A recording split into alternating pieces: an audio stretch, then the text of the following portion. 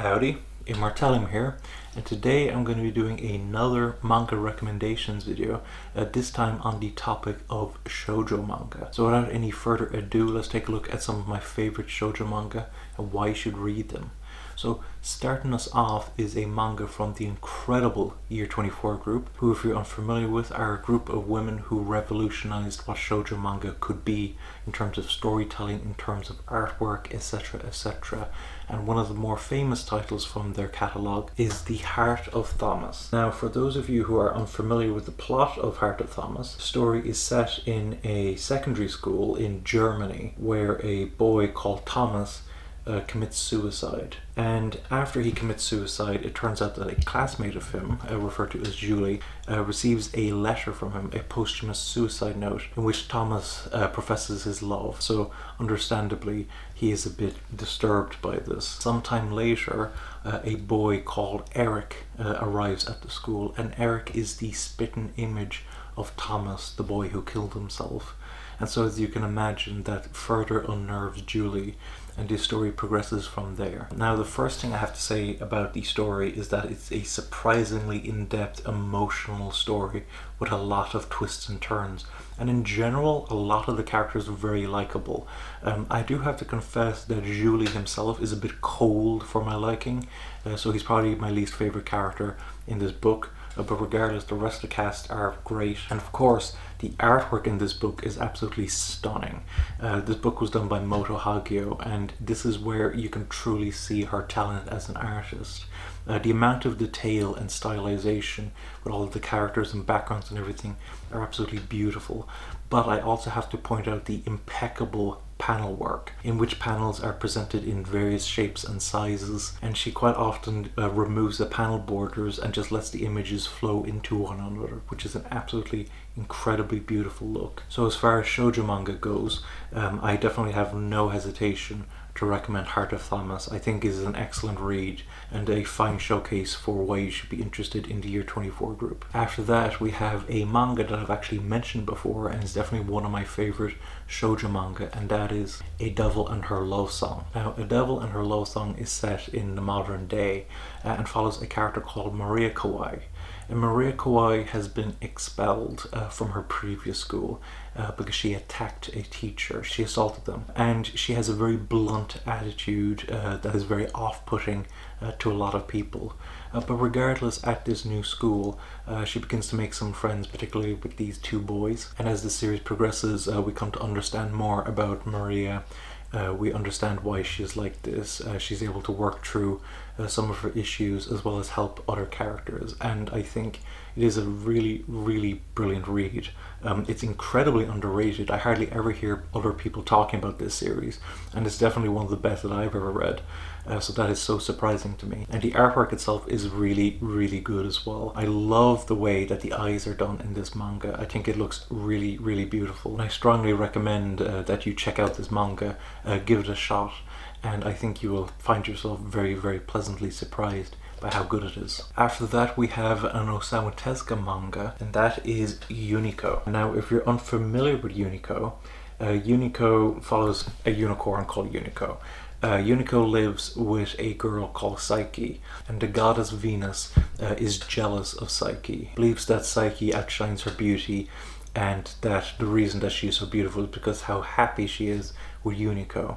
So she convinces uh, um, to take Unico away uh, from Psyche, to send him uh, through various different time periods um, across history, and to remove his memory every time that he uh, enters a new time period, so that he doesn't remember Psyche or anyone that he's become friends with and it is a very very enjoyable read. I will say that some of the stories are better than others. It is presented for the most part episodically, there's very few recurring elements and there are certainly some stories that I like more than the others um, but one of the main things this aspect will really stand out to people when they read this book uh, is the fact that it is presented in full color and it is absolutely gorgeous looking. It's certainly one of the most beautiful looking manga that I've ever read. And even with uh, a little bit of the unevenness of the stories, I still think that they have a lot of charm to them. The other thing that I think is worth noting um, is that, as you can see, this is read from left to right, uh, just like the Western style. But interestingly, this manga is not flopped. This manga was actually originally released in this format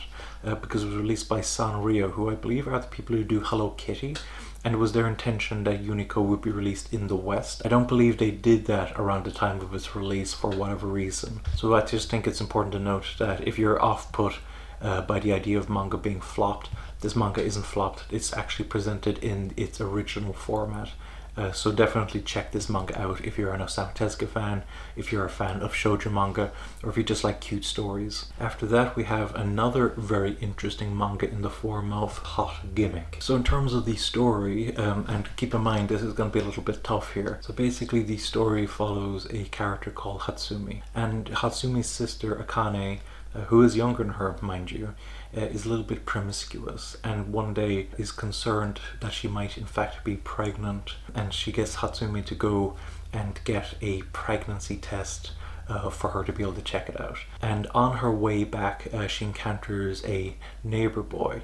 And this neighbor boy notes the fact that she has the pregnancy test, and he decides that he's going to blackmail her uh, in return for not mentioning the pregnancy test uh, which could potentially cause a scandal where they live. He tells her that she is going to be his slave. And that can be quite a tough premise, um, but the manga, while it can be quite tough at certain points, isn't as tough as you think it will actually be. The characters actually end up becoming really interesting, that you really want to see what happens to them. There are some amazing events that happen in the story. And of course, I want to also say that I really, really do like the artwork here. I think there's a lot of style uh, to the visual style of this book. And of course, I'd also be remiss if I didn't mention um, how Viz Media presented this. So this edition I have here is called a Vizbig, uh, which I believe they don't typically do now. I do believe they keep releasing Vizbigs for series that they have released in Vizbigs before, but I don't believe they're doing any new Vizbigs. If I'm wrong about that, uh, correct me in the comments below. Viz Media's presentation here is beautiful. Um, there's higher quality paper, you get three volumes per book. It's a really, really good presentation of this manga, and I think it's definitely worth checking out, uh, particularly if you're into shoujo manga. Following that, we have a manga that is quite popular, and I was considering leaving this manga out simply due to how popular it was. But considering it is one of my favorite shoujo manga, I thought I may as well include it, even though it is very popular. That, of course, is Cardcaptor Sakura. Now, Cardcaptor Sakura follows a girl called Sakura, of course, and one day when she goes into the basement, um, she finds a book, and once she opens the book, all of these cards uh, go flying out. And this little creature called Cerberus explains to her that she's just released all of these Clow cards and that they're going to cause mayhem, but only people who are magical are able to open the book. And so that means she is actually capable of using magic. And so it becomes her duty uh, to find these Clow cards, uh, to put them to rest, and to stop any havoc that they're causing. I want to say that that does sound like a very typical uh, kind of adventure series, um, but there are some absolutely amazing chapters in this book, and the amount of emotion packed into this series is something that I think will catch a lot of people off by surprise. It's a really moving work, and the cast of characters themselves are incredibly likable. And of course, the artwork by Clamp is absolutely gorgeous as well.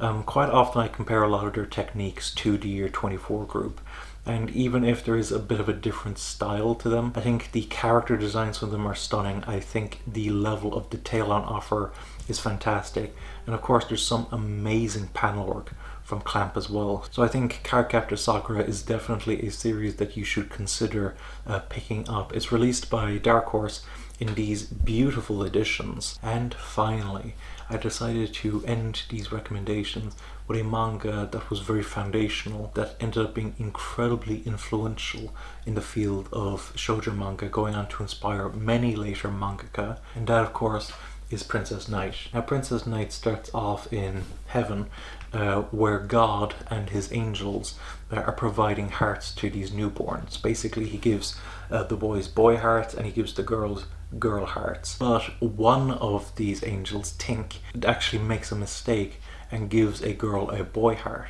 Uh, so now this girl has both a boy heart and a girl heart. And as you can imagine, God is very displeased with Tink and sends Tink down in order to fix his mistakes. Meanwhile, it turns out that this girl is actually a princess. She's been born to the royal family of Silverland. When this birth is announced, uh, the announcer has a lisp, um, which makes people think that a prince has been born and not a princess.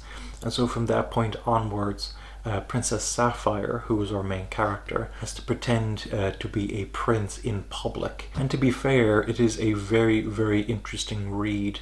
Um, I think the artwork here is really, really lovely. Definitely one of the better looking Osamu Tezuka works when it comes to his earlier works. I guess it is worth noting from that perspective that despite the fact that the original Princess Knight was released in the 1950s, uh, what we got over here is actually a remake that was done in the 1960s. But regardless, the artwork is really, really lovely. And with regards to the story itself, there are a lot of great uh, twists and turns and enjoyable characters in it. Admittedly, I'm not particularly fond of the character of Tink, I find him quite annoying, and the end to Princess Knight is actually quite sudden and to me a bit jarring. Um, so I do wish that Osamu Tezuka had taken his time to kind of expand on that ending.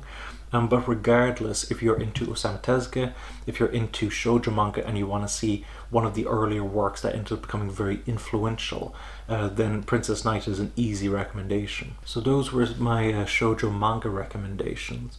And of course, as ever, I'd love to hear your guys' thoughts. Uh, have you read any of these manga? And if you have, did you like them? Did you dislike them? What are some other shoujo manga that you would recommend?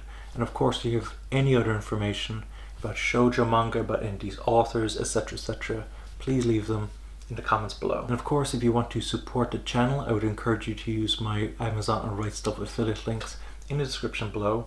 When you purchase an anime and manga through those affiliate links, not only are you supporting me, not only are you supporting the channel, but you're also supporting the anime and manga industry. So I would highly encourage you to use those affiliate links to purchase your anime and manga. Thanks for watching. Don't forget to comment, rate, subscribe, and bye bye.